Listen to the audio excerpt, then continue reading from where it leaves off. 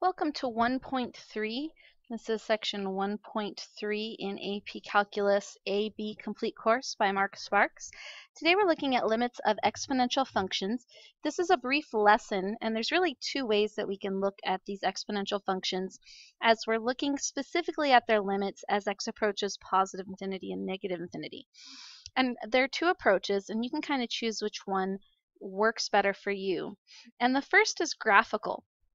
In these examples we're going to see here, they're already graphed. If you prefer to use the graphical approach, then you'll need to memorize um, how these graphical how these exponential functions um, look, what their graphs look like, and I'll talk about this very briefly so you can see how you could construct these yourself. But we have four exponential functions graphed here, and we can see in our first example, um, we have a value, uh, we're actually going to start with this one here. We'll call this graph B. For this graph, we have a value um, a that is greater than 1. When we have a function that's greater than 1 and nothing is reflected, then that means that my graph to the right is going to increase um, without bounds. It's going to increase infinitely.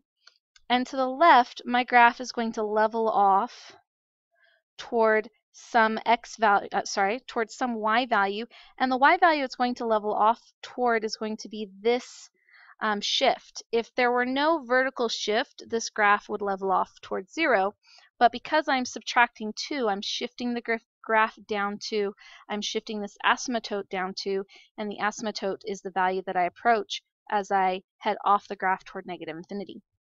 So looking at this function graphically, we can then easily see that the limit as x approaches negative infinity, as I go to the left, is negative 2, my vertical shift, whereas the limit as x approaches positive infinity, to the right, approaches positive infinity. I'm just going up. There's no signs of coming back down, and so it approaches positive infinity. Now things are a little bit different in graph A. In graph A, my value inside the parentheses is less than 1. It is a value less than 1. And when I have a value less than 1, what this does is essentially flip my graph horizontally. Now I'm leveling off with time, and as I go to the left, I'm increasing without bounds. So it's the same graph, but it's been reflected horizontally. And this is because I could actually rewrite this function in terms of this function, if I were to flip the fraction and then make that to a negative exponent. So it'd be negative x minus 1 minus 2 because anything to the negative 1 exponent is its reciprocal and these two interiors are reciprocals of each other. So it's a little bit of background there. But the important thing is that because this is less than 1, this is going to level off to the right and increase without bounds to the left. Therefore, as I take my limit, as x approaches negative infinity, I trace toward negative infinity, and I'm heading toward positive infinity. Whereas, as I trace to the right, I level off toward this asymptote, and again, this asymptote's value is my y shift. So, uh, and we can see that here, it's negative 2. And so this limit is negative 2. Looking at my next functions, so here we see a fraction, which means normally it would start high and level off. But this negative in front here, this is a vertical reflection, which means that my graph is instead starting low and leveling off. It flips the y values. Toward the right, that doesn't make a big difference because in both ways I'm approaching my y shift, which in this case is negative 1. You can see my asymptote here. But because of this negative, instead of heading toward infinity to the left, I'm heading toward negative infinity as I approach, as x approaches negative infinity. Whereas as x approaches positive infinity, I still approach this asymptotic value of negative 1. Finally, this function is also a fraction, which uh, a value less than 1. It's not that it's a fraction, it's that it's a value less than 1, which again would mean starting high and leveling off. This negative in front, this is a vertical flip, which would flip my function this way. Ah, but I have one more flip. I have this negative right here. That is a horizontal flip. So I would take this blue and I would, instead of leveling off to the right, I would level off to the left. And instead of going down on the left, I would go down on the right. And that gives me this function here. So now as x approaches negative infinity, I approach that asymptote, which is at my y shift value, this big number here, 2. And as x approaches positive infinity, as I trace, I find myself heading down. I'm approaching negative infinity. So if you're comfortable with constructing a graph and flipping it vertically and flipping it horizontally, then this graphical approach can be really good because you know that as you trace to the left, um, you might approach as an asymptote, you might approach positive infinity, you might approach negative infinity, and you can just see that from the graph. So looking at these, uh, this are three possible results for an exponential function, we saw negative infinity, positive infinity, and the constant. And specifically, that's the y shift. All right, but what about um, what about if I don't have those uh, graphs, or if I'm not comfortable with the graphs? Then we have another approach we can take. This other approach is to look at these analytically. So rather than at this time going through um, 1, 2, 3, 4, this has to do with the graph, we could also look at this analytically. And let's look at number 1 and see how we could do these analytically. So how could I look at this analytically? First, let's compare by just looking at it graphically. This is 2 thirds, meaning that it would uh, level off, starting up high and leveling off. And then this negative on the x means a horizontal reflection. So I would just flip. I was leveling off to the right. Now I'm going to level off to the left. Still up high. This would be my negative 2 here. And this would be my infinity. So as x approached positive infinity, as I approach positive infinity, I find that I also approach infinity. What would this look like analytically then?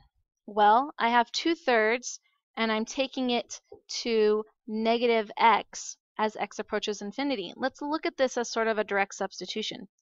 2 over 3 to the negative infinity power.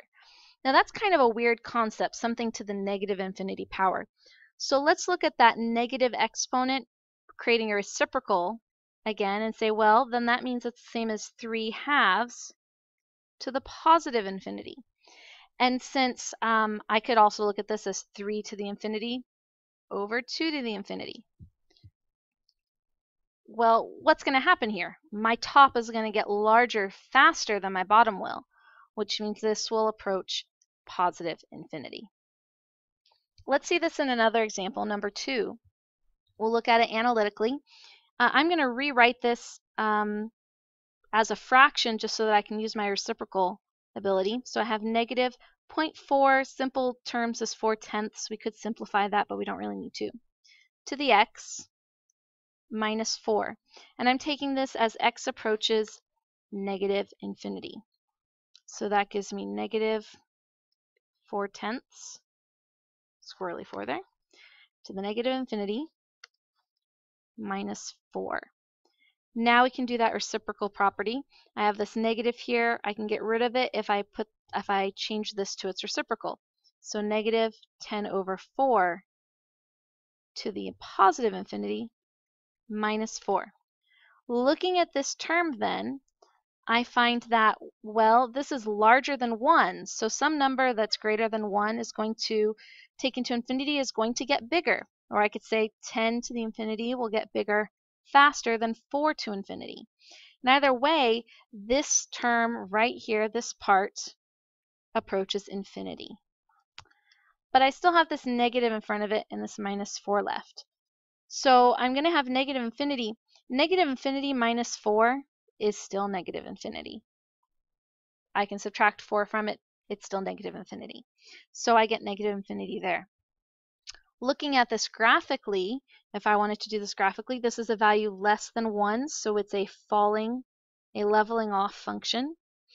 And this negative in front means it's going to uh, reflect vertically. So what was going up is now going down.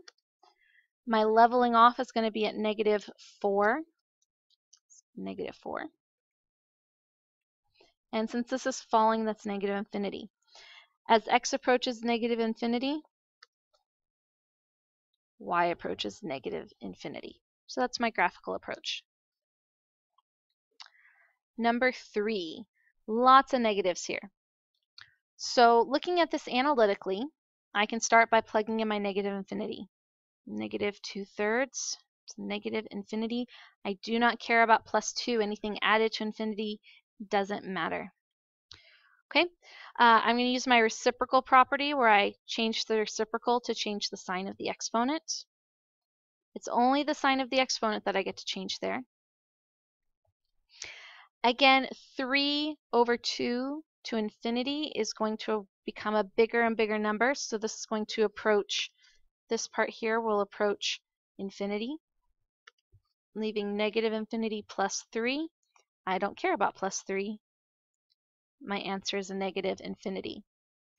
Looking at this graphically, 2 thirds is less than 1, so it's a leveling off function. My negative here means that I reflect this vertically. What was going up now goes down. And my negative here means I'm going to reflect this horizontally. So what once went right will now go left. Looking at this, as x approaches positive infinity, go ahead and bring my 3 here. This is going down, so negative infinity. As x approaches positive infinity, going to the right, I approach negative infinity. For number 4, I have, this is my number, I say in parentheses. It's not in parentheses, but that's what, I've got signs in front, I've got exponents, so that's my number there. That is greater than 1, so this is a growth function. It's going to grow my negative in front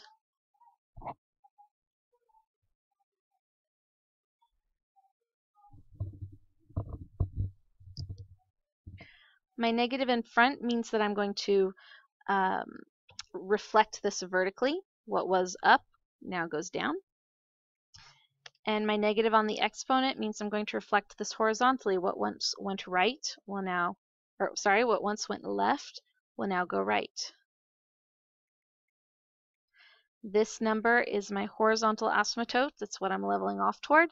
This is going down, so it's approaching negative infinity. As x approaches positive infinity, as I read to the right, I approach this value of 2. Let's see that analytically. So I have negative 2 to the negative infinity, don't care about the minus 1, plus 2. Okay, use my reciprocal property because I have negative infinity there minus negative 1 half to the infinity plus 2. This is our first time to see this. What happens to a value less than 1 as I take it to infinity? Let's think about it. 1 half squared, 1 half times 1 half is 1 fourth. That's a smaller number. 1 half uh, to the fourth is 1 over 16. That's an even smaller number. So I see a trend here that as my exponent of a fraction grows larger, the value grows smaller, grows closer to 0. And in fact, I find that this, as x approaches infinity, approaches 0. So I have negative 0 plus 2 equals 2. And I get the same answer either way. Number five, we'll look at this one graphically first. This is E. Don't let that throw you. E is approximately equivalent to 2.71. So that's a value greater than 1. This is a growth function. But I have this negative on the x, which means I flip it horizontally. What was left is now right. This is leveling off toward a horizontal asymptote of 2 and growing toward infinity. As x approaches negative infinity, y approaches infinity. Let's look at this analytically.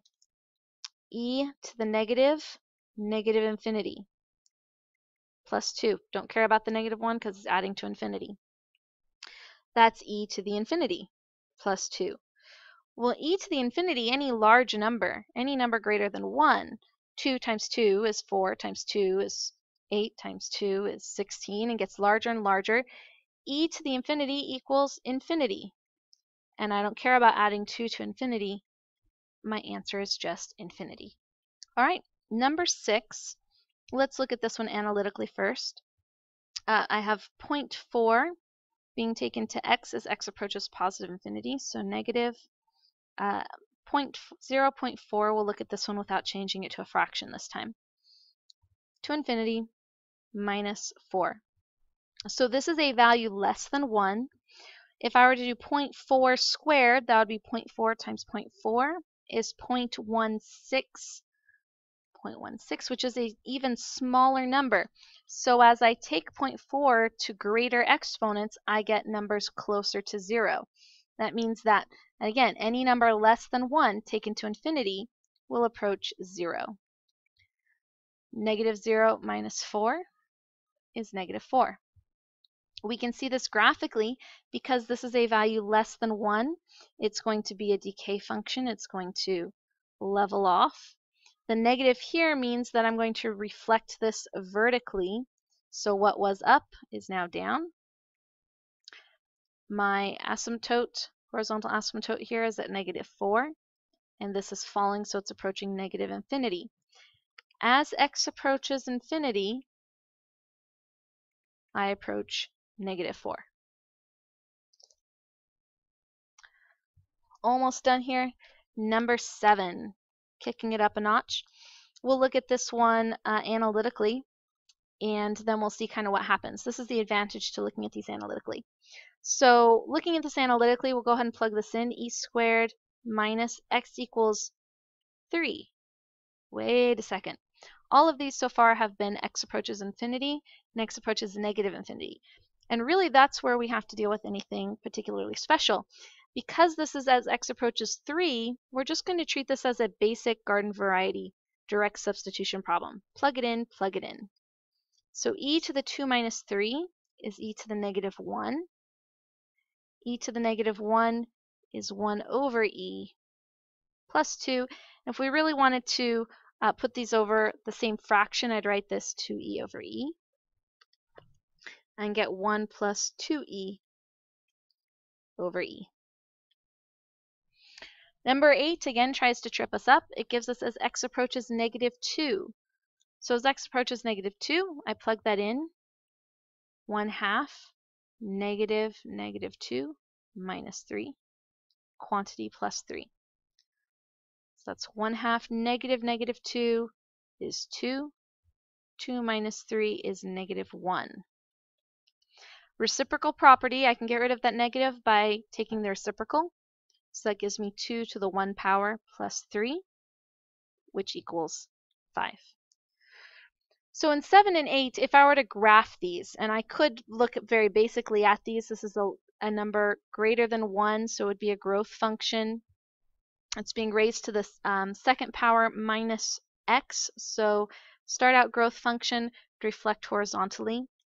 And you say, well, okay, then shouldn't it head toward 2 or shouldn't it head toward infinity? Except this isn't asking as I go off the graph to the left or off the graph to the right. It's asking specifically at 3. Well, at 3, the limit is going to be equal to the function because exponential functions are continuous on the domain. So it would just be the value of the function, and that's why we can use direct substitution. Same thing with number 8. Number less than 1, so it's going to be a decay function to start, and then it's flipped horizontally. and this direction to the left would be 3. Up here would be positive infinity, but it's not asking as I go off to the left or as I go off to the right. It's asking at negative 2. At negative 2, the limit will equal the function, which I found through direct substitution. So that is our limits of exponential functions. It's a small, pretty easy lesson as long as you can kind of sort through the different possibilities there.